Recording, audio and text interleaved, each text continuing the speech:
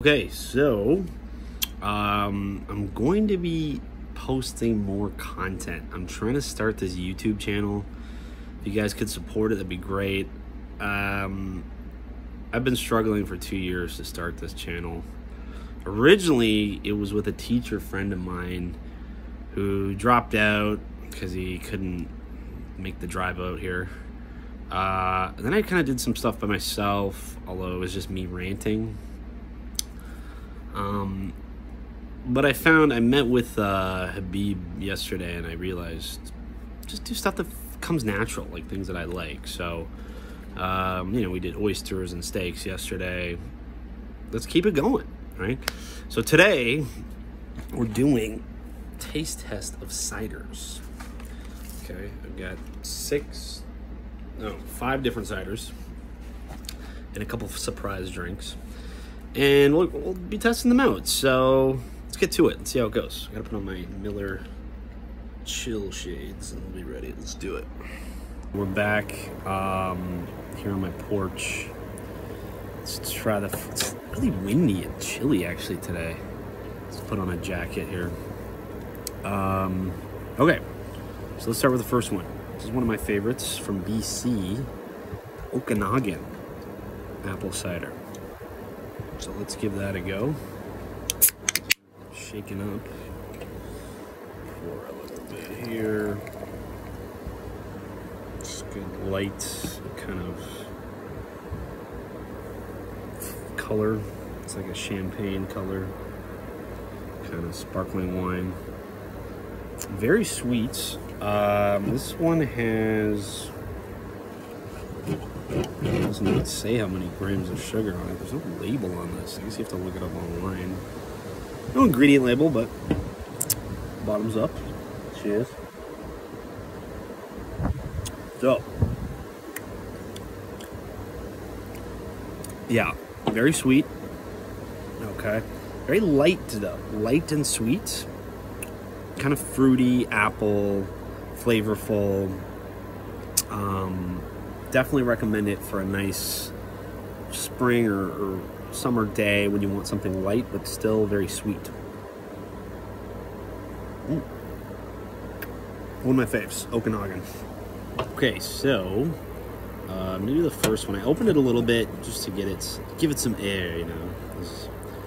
So that's the Okanagan, one of my favorites uh, that I usually get. Pour a little bit here. As you can see, it's got a very crisp kind of, I don't know if I can get a good champagne kind of color. Let's give it a very bubbly. And a smooth finish, like it's, it's quite a delightful cider, uh, the Okanagan. Um, from BC, not, not a local one, but still, very sweet, very light, crispy. Great for, you know, sitting on your porch like today. And mm, Great finish. Smooth, clean. Um, I give that a, I gotta say, 9.5 out of 10. Um, the only thing I'd like is a little bit more alcohol in it. It's only a 5%. I could see that going up to 6 or 5.5 and still being a good, great cider. So I think that might be my favorite. Video's over, guys. Found the found the best one. Okay, let's try the next one. I don't want to get too drunk for the video. I realized I can only take little samples of each cider at a time. So, um, yeah, so that's what we're gonna do. So let's move on to the next one. This, so the rest of them, this one I haven't tried the any of the others, uh, except maybe the. No, I think I think that's all. Yeah. So this is the Somersby Wild Garden crushed. out. I've had the regular Somersby. Very the regular one is very sweet. Um, this one is supposed to be less sweet, even though it looks very floral, I guess. So let's give that a go. Crack that one. Okanagan left. Let's pour this one again, very light. even lighter, I would say, than the Okanagan. Um, get a look at that. Ooh. Ooh, very different nose though. So this is similar to wine tasting. It's so many different flavors. So ciders, that's why I like them. There's so many different kinds. This one has a bitter, um, almost like when you get that smell of like rotten apples smell, uh, or like stanky apples. Mm. Ooh, but a nice finish. It's very clean. You don't taste any of that rotten apple taste. I just taste basically clean, like kind of like goes down like water.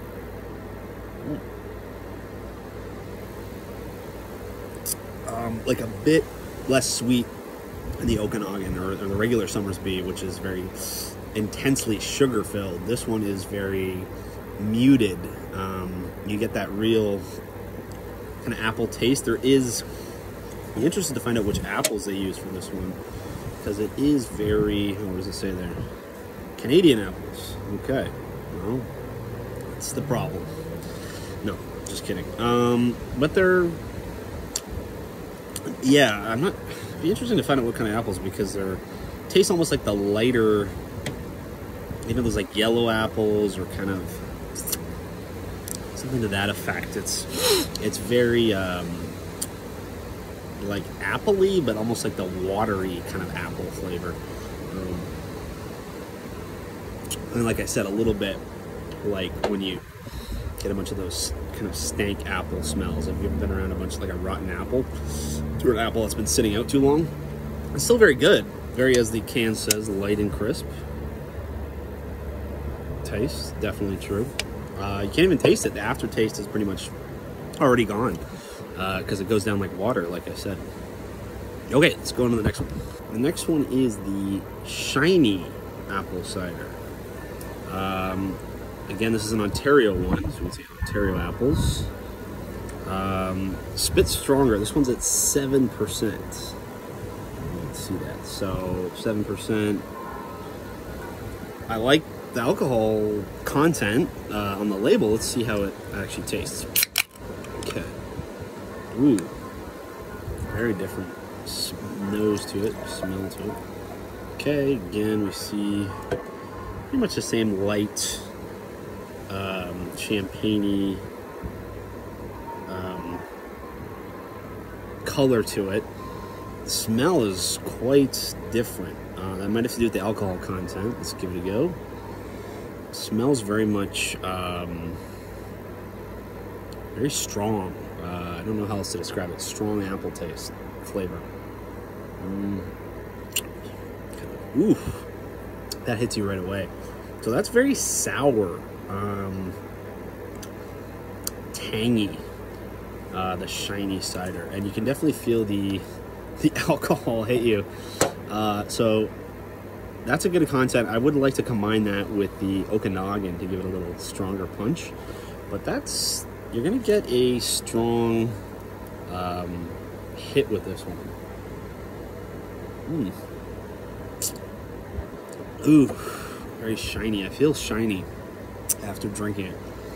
Mm, again, has that pungent apple. I don't know what's the Ontario apples or what, but both the Ontario ones, the Somersby Wilds and the Shiny, have been uh, quite hit with like a. You can really taste the um, the apple. Mm, in a kind of fermented way. So I'd like to see less of that for the shiny. Um, although alcohol content, if you're trying to get drunk quickly, this is, I guess, your best bet.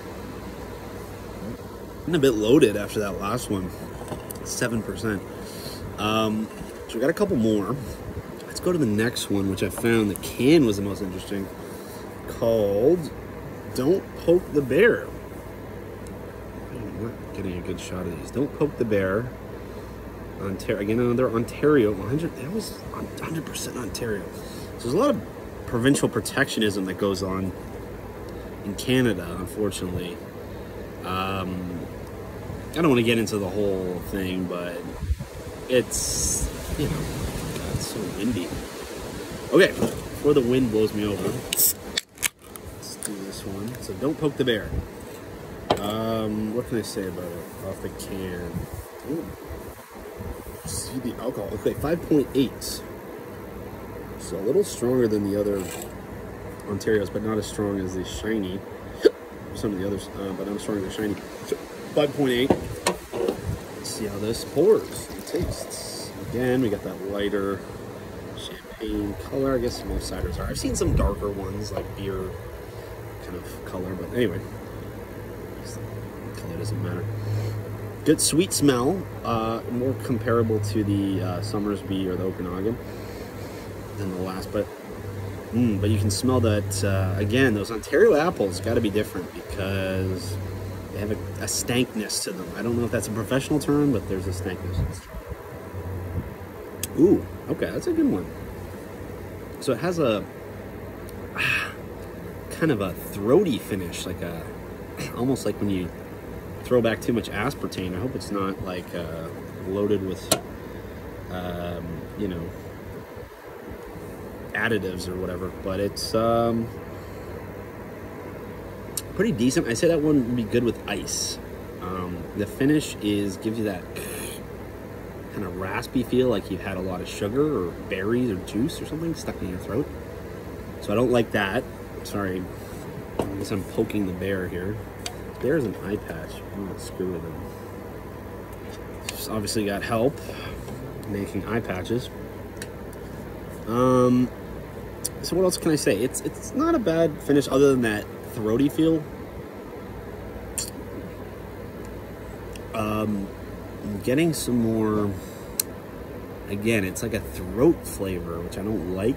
I'd rather the taste actually come on the tongue not reverberate. So I don't really like this one. I'm going to give this one maybe a 4.5. Sorry, I haven't been ranking the others. I'll do a ranking at the end, but let's finish off. Mm. Also seems to have like a another flavor I can't quite identify. Very kind of plant tasty, like a rutabaga or like a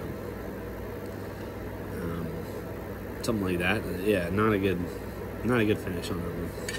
So I screwed up, and the last one I had to drink is actually a Radler, um, which I thought, which I knew was lemon lime, but I kind of mistook for a cider. I thought it would have because it's kind of a, yeah, it's like. So it says a crushable lemon lime radler bursts with juicy citrus and a refreshing crisp finish. Stay rad, Sip Rad. Hmm, okay.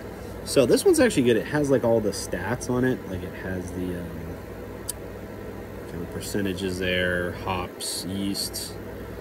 Uh, it's only 2.5%, so very weak. Um, I will drink it just for the purpose of this video, but I'm very mad that I bought it. So let's try this one. The Stay Rad Lemon Lime Radler. This is popular at the at the LC, so you can see this. Okay, very, as it says, a very lagery, um, you know, yeasty kind of lager um, consistency. Lemon lime nose. Mmm. Ooh, that's actually nice. Very refreshing. It's it's tart, but it's like drinking like a pink, like a tart lemonade, pink lemonade. Um, mixed with like a beer consistency. So that's actually good. I like Radlers. I'll do a Radler video maybe next time. So that's all. Um, oh, and I have one surprise. So hold on a sec. Now time for the surprise. So on my uh, walkabout today in Leslieville, I found there's a bunch of garage sales, and I found these copper chalices that were. I got them for a toonie, if you believe that. So a little like they have copper inside. They kind of look like. Uh, you know something religious, which I you know I'm into that kind of stuff. So anyway, when I looked it up, I was deciding whether to buy them or not, and I gotta clean them out, but it'll be fine. It said online a good drink to have with copper um, is like a copper cup or whatever is uh, Moscow Mule. So I went to the LC. I was looking for ciders, but I found not a Moscow Mule, but an original mule. Okay, there's no. So I'm assuming the name has changed from Moscow to because I've seen this brand before, Cabana Coast Moscow Mule. So they changed the name, obviously for political reasons. But it's a war, war in Ukraine. But let's try the original mule in copper cup. So that's a surprise drink. If you guys like these reviews, I'll do more. I actually kind of enjoy them because I get loaded and do content, so it's kind of cool. So I clean these out. My roommate told me I need to do wash them in ashes or something. So let's do the original mule, not the Moscow mule. Um, some stats on this one: small batch, vodka, ginger wine. Um, they might have changed the ingredients actually. So seven percent, stronger. Cabana Coast. Mm. Fizzy.